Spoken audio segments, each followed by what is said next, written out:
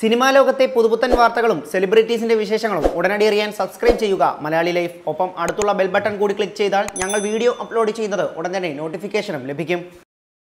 ഈദ് റിലീസായി ഒരുങ്ങിയ മമ്മൂട്ടി ചിത്രം ഉണ്ട റിലീസ് നീട്ടിയപ്പോൾ മുതൽ ആരാധകർ പരിഭവത്തിലായിരുന്നു. ഏറെ കാത്തിരിപ്പുകൾക്ക് ശേഷം മമ്മൂട്ടി ചിത്രം ഉണ്ടയുടെ വിശേഷങ്ങളുമായിട്ടാണ് മലയാളി ലൈഫ് നിങ്ങൾക്ക് മുന്നിൽ ഇന്നെത്തുന്നത്. മമ്മൂട്ടി പോലീസ് റോളിലെത്തിയ ചിത്രം ആയതിനാൽ തന്നെ ഇൻസ്പെക്ടർ മണികണ്ഠനായിട്ടുള്ള കാത്തിരിപ്പിലായിരുന്നു മലയാളികൾ. ഖാലിദ് റഹ്മാൻ ഹർഷാദ് എന്നിവരുടെ കഥയിലും തിരക്കഥയിലും ഒരുങ്ങുന്ന ചിത്രം സംവിധാനം ചെയ്യുന്നത് ഖാലിദ് റഹ്മാൻ എന്ന പ്രത്യേകത കൂടി ഈ ചിത്രം നൽകുന്നു. ഖാലിദിന്റെ മറ്റ് സിനിമകളെ പോലെ തന്നെ പ്രതീക്ഷ കാത്ത ചിത്രം എന്ന് തന്നെ പറയാം. രണ്ടായിരത്തി പതിനാലിൽ നടന്ന ഒരു യഥാർത്ഥ സംഭവത്തെ അടിസ്ഥാനമാക്കിയിട്ടാണ് ഈ ചിത്രം അണിയറയിൽ ഒരുങ്ങിയത്. ഛത്തീസ്ഗഡിലെ തെരഞ്ഞെടുപ്പ് ഡ്യൂട്ടിക്കായി പോകുന്ന കേരള പോലീസ് ആമഡ് പോലീസ് ബറ്റാലിയന്റെ കഥയാണ് സിനിമ പറയുന്നത്. ചിത്രം കാണിച്ചു തുടങ്ങുന്നത് തന്നെ ഇടുക്കി എ ആർ ക്യാമ്പ് കാണിച്ചുകൊണ്ടാണ്. തെരഞ്ഞെടുപ്പ് ഡ്യൂട്ടിക്കായി പോകുന്ന പോലീസുകാരിൽ എസ് ഐ മണികണ്ഠനായി മമ്മൂട്ടിയും സർക്കിൾ ഇൻസ്പെക്ടർ റോളിൽ രഞ്ജിത്തും ആം കമാൻഡ് പോലീസ് ഓഫീസറായി ദിലീഷ് പോത്തന്റെ കഥാപാത്രങ്ങളും എത്തുന്നു.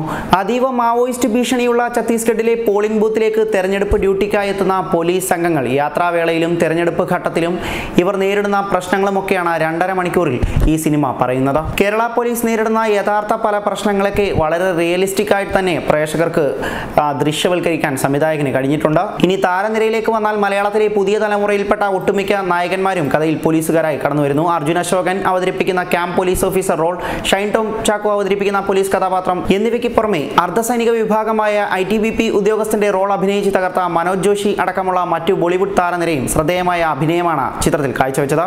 ഇടയ്ക്ക് ആസിഫ് അലി വിനയ് ഫോർട്ട് എന്നിവരും എത്തുന്ന രംഗങ്ങളും അതിമനോഹരമായിരുന്നു. ഇനി മമ്മൂട്ടിയുടെ കഥാപാത്രത്തിലേക്ക് വന്നാൽ ഇതുവരെ കണ്ടിട്ടുള്ള മമ്മൂട്ടിയുടെ പോലീസ് റോളുകളിൽ നിന്ന് വളരെ വ്യത്യസ്തനാണ് ഇൻസ്പെക്ടർ മണികണ്ഠൻ. സാധാരണക്കാരനായ ഒരു A R camp police circle ഇൻസ്പെക്ടറായ മണികണ്ഠനെ അവതരിപ്പിച്ച് മമ്മൂട്ടി അരങ്ങ് തകർത്തിട്ടുണ്ട്.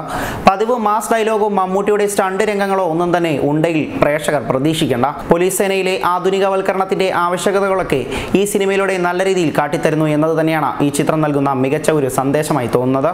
മറിച്ച് മാവോയിസ്റ്റ് സാന്നിധ്യം ആദിവാസി ജനത അനുഭവിക്കുന്ന പലതരത്തിലുള്ള പ്രശ്നങ്ങൾ എന്നിവയെല്ലാം ഉണ്ട സിനിമ അതിവൈകാരികമായി തന്നെ അവതരിപ്പിക്കുന്നുണ്ട്. ചിത്രത്തിലെ ഏറ്റവും മികച്ച ഭാഗങ്ങളിൽ ഛത്തീസ്ഗഡ് ഭാഷയിൽ കലർന്ന സംഗീതം കൂടി ഇഴകലർന്നപ്പോൾ ദൃശ്യശ്രവ്യ സുഖം തനിമ ചോരാതെ കിട്ടിയിട്ടുണ്ട്. സജിത് പുരുഷന്റെ ക്യാമറ പ്രശാന്ത് പിള്ളയുടെ സംഗീതം എന്നിവയാണ് സിനിമയിൽ എടുത്തു പറയേണ്ട സാങ്കേതിക വശങ്ങൾ. Entertainment Malayali life.